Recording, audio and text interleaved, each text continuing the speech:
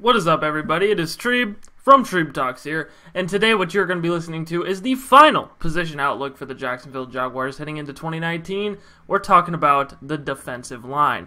We're going to touch a little bit on Yannick Ngakoue. We're going to talk about Calais Campbell and Taven Bryan's progression as well, and how he is going to fit into this Jacksonville Jaguar defensive line in 2019. But before we get into the video, why don't you go ahead and drop a like down below if you think the defensive line is the strongest group for the Jaguars heading into 2019 and hit that subscribe button and click the bell icon to get notified every single time I drop a new video. I drop new Jaguar content on this channel six days a week. Ain't nobody outworking me. Them's are just straight facts. So without further ado, ladies and gentlemen, let's get into the video.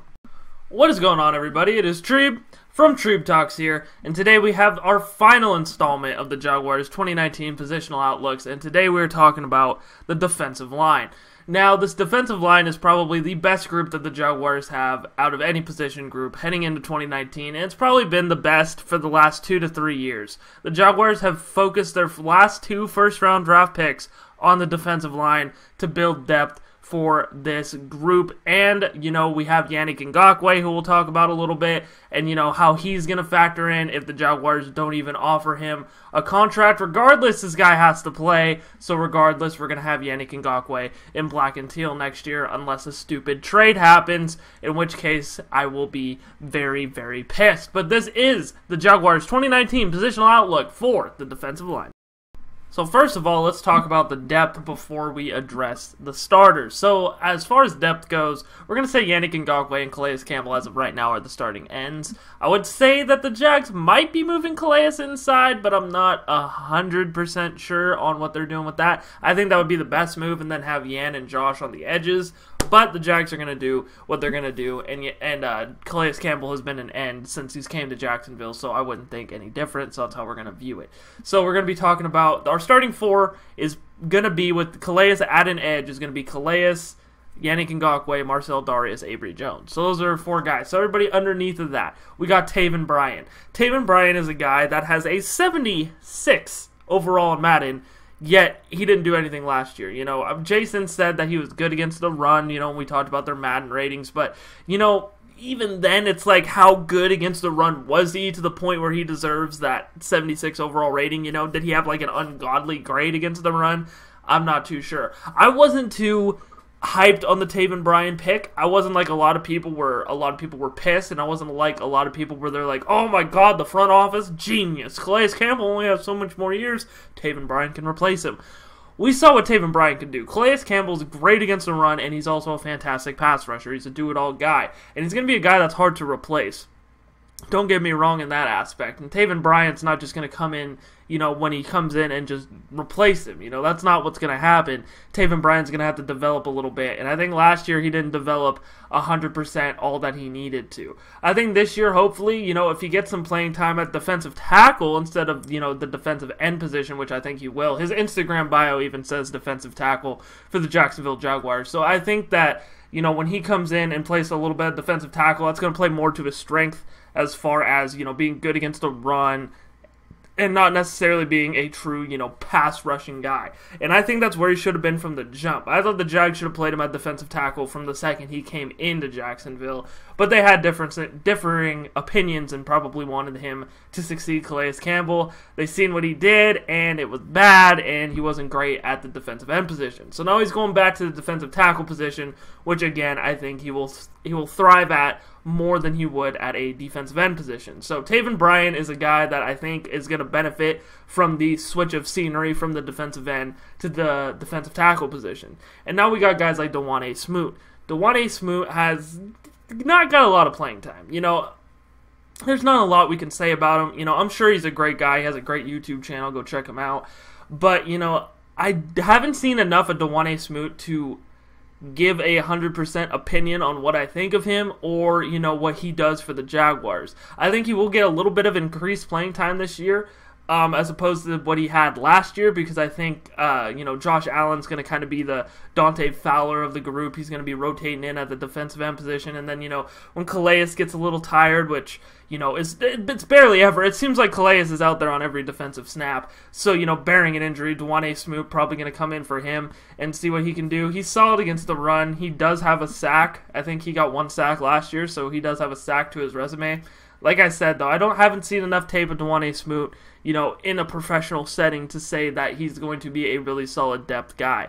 But, you know, the thing is with the Jags is they have a really, you know, a top heavy defensive line you know, with Marcel Dareus, Abry Jones, and those guys. And we'll dive into those guys coming up. But Dawuane Smoot, I think, is going to be a reliable backup. I think he won't have to play very much unless Calais gets hurt. In which case, too, I think we'll just have two speed ends and, you know, Calais, and then that'll be what it is. But, you know, there's another guy, you know, that we'll talk about here in a little bit, Abry Jones, who I have a lot of good things to say about. I would like to see him kind of rotate in the defensive tackle position. You know, him and Taven Bryan, dude, being rotational defensive tackles. And then, you know, you got Smoot coming in at the end position to kind of balance it out. You know what I'm saying? So, as far as depth goes, I think it could be worse. It's just a couple of guys that are unproven. You know, Taven Bryan and Smoot are both the guys that, um, out of all the defensive linemen that aren't the starters, probably will get the most playing time. So, you know, we haven't seen enough from them, and hopefully in 2019, this is the year they break out, and we see enough from them to where we are confident in what they are and confident when they head on to the field. Now let us discuss the starting four. I think the Jaguars' defensive line started a movement amongst the whole NFL. You look at all these teams now, and they build their whole defense on their front four. And I'm I, am i am not saying this is a new concept by any means. I mean the Seattle the Seahawks probably were the first team to do this, but you know with the Jags investing into their defensive line, which for some reason, even though they do that, they still have a problem extending Yannick and Ngakoue, and it's fucking pissing me off. But, you know, the Jaguars kind of, you know, made that famous a little bit. We were kind of the next group to be that team that invests in their defensive line to make sure that they have a lot of good pass rushers. Because in today's league, dude, pass rushers are just as important as the quarterback position on the defensive side of the ball. Because with how good all these starting quarterbacks are in the NFL, if you give them, you know, any more time than they need to throw the ball, it's a completion 100% of the time. Because, you know, you could be the best corner in the league, example, Jalen Ramsey, AJ Bouye, but, you know, if you're running around with a receiver for five six seconds you know they could just run out somewhere get open and then end up getting a catch and you know ending up costing us a first down but the jags have four guys that can get after the quarterback five including josh allen the rookie who uh, set the SEC sack record last season um, not the SEC sack record, but he was the leader in the SEC in sacks last season, so that's a good addition to the Jaguars' defensive line. And he's going to be very exciting to watch. You know, he's a raw guy. He came into Jacksonville to kind of fill that Dante Fowler role, and he does have a little bit of Dante Fowler in him as far as style goes. He's very raw and he's very aggressive. You know, he's going to probably be doing a lot of things like Dante, where we're like, dude, Dante just like kicked that guy, punched him in the stomach, and like now he got a sack. You know what I mean? Like Dante was just all over the place making ridiculous moves and would somehow still get sacks. You know, and I think that's going to be kind of like Josh Allen. I think Josh Allen fundamentally is a little bit more fundamentally sound than Dante Fowler was, but you know, you do see a lot of that raw pass rushing ability that you've seen in Dante Fowler that we see in Josh Allen today. And I'm very excited to see how he develops, especially I know you guys love it when I say especially because sometimes I say especially. You guys get so pissed off in the comments, but especially with Yannick Ngakoue, if he does not get extended for the next year, then his time and his progression is going to be very, very important. But Josh Allen's a guy that I would not worry too much about. I'm very excited to see what he has to offer. I think he's going to be very, very, very talented this year, and I'm hoping for maybe a rookie of the year, defensive rookie of the year. I'm hoping that he might be able to do that. I don't think the Jags have ever had a defensive rookie of the year or a rookie of the year or an MVP. We've had a rushing leader, we've had a rushing title winner, but I don't think we've had anything like that. So that'd be cool to bring home to the Jaguars and bring home, you know, uh, an award like that. And I think Josh Allen is very capable of doing that.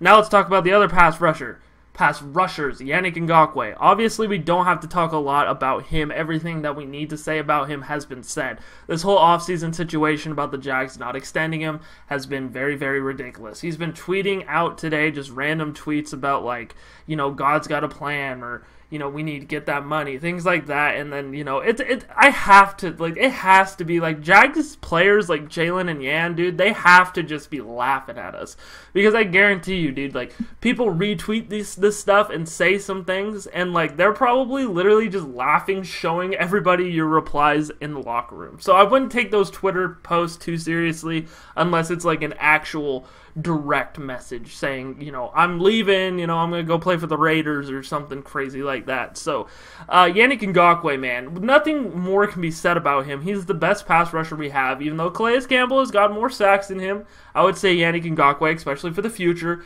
is one of the best pass rushers in the league. Could you imagine, too, for the next four years, because we have, you know, Josh Allen on that four year, and we could offer him a fifth year option. With Yannick Ngakoue, if we sign him for four years, dude, and Calais Campbell eventually retires, maybe two, three years. Dude, this we have not even like diminished anything. Like we still have two of the best pass rushers in the league at that point, and we still have two guys that can get after the quarterback, make turnovers, force turnovers, make things happen, make plays. Yannick Ngakoue is one of the playmakers on the Jaguars defense that they cannot lose. You know, there's a certain amount of guys on this team that if the Jags lost them, it would hurt them a lot.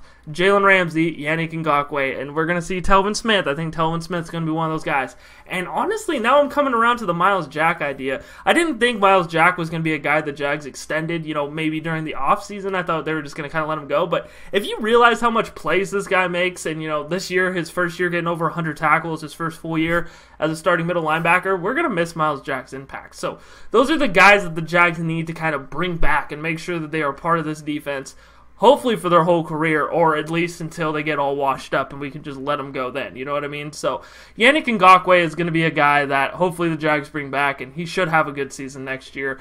Uh, he can't hold out all season, I don't think.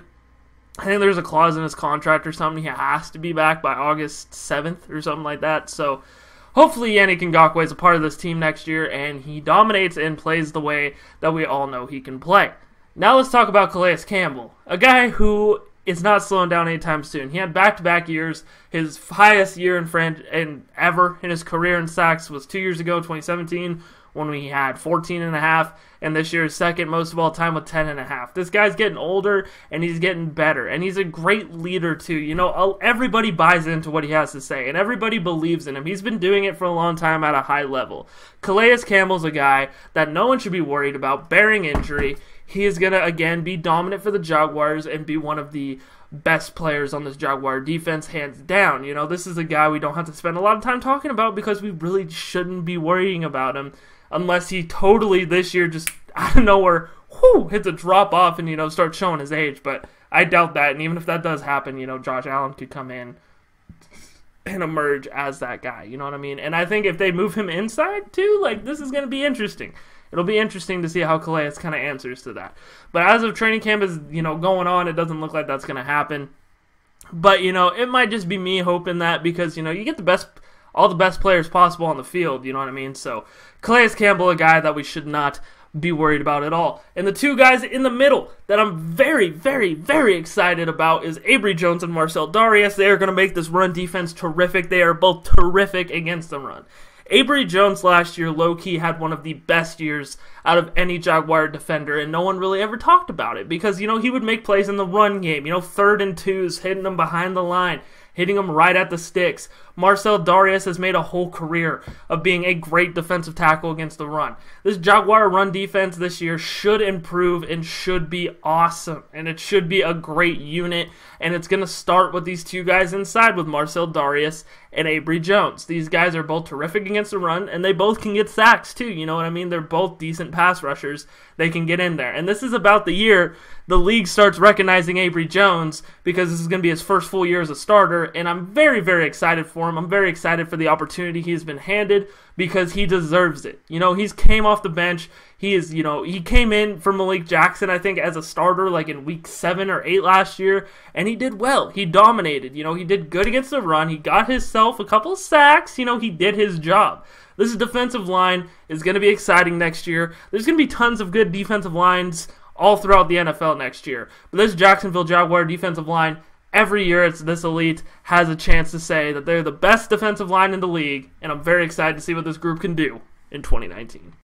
And that was my 2019 Jaguars positional outlook for the defensive line. What did you guys think? Leave your comments down below. Don't forget, you check links down below as well. You can like me on Facebook at Treeb Talks. Follow me on Twitter at Treeb Talks or follow me on Instagram at Trayvon Pixley. Also, if you haven't yet, make sure you hit that subscribe button. Click the bell icon so you get notified every single time I drop a new video. I drop new content on this channel six days a week.